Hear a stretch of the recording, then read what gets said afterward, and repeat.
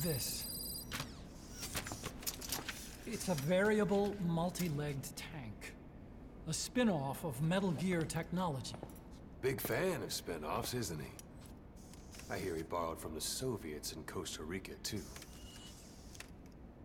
The design allows for a lot of freedom in setups.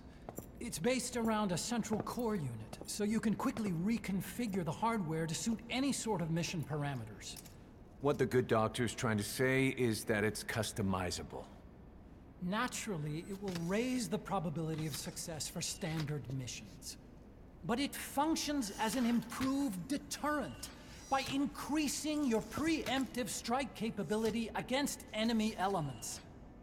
You just deploy it in a war zone, and its superior firepower puts the brakes on enemy attacks.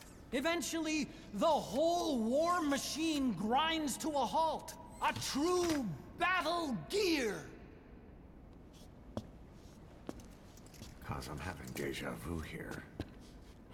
I don't like him any more than you. But we need this. You think it'll cut it in the field? Turning radius is better than any tanks. That's great for regional skirmishes. Tech like this is popping up all among the PFs. Best way to deal with them is to fight fire with fire.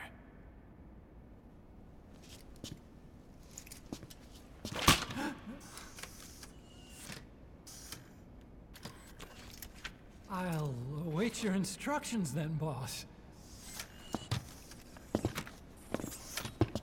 So do we have your approval to commence development? Fine.